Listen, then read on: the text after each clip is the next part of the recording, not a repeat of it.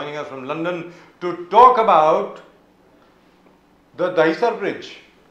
Sir Dahisar के bridge के बारे में बात करेंगे आप आज That's what I was told. Uh, sir, uh, Daisar uh, Bhainder Elevated Road.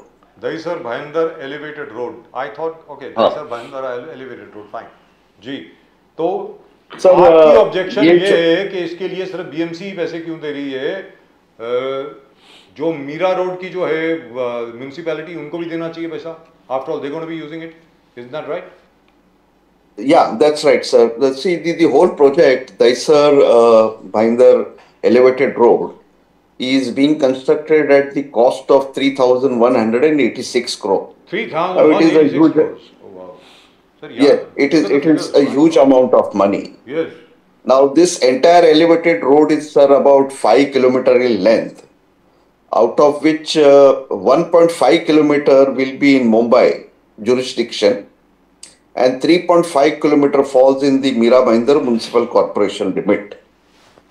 Now, the entire cost of this road construction of 3,000 odd crore is being borne out by Mumbai Municipal Corporation.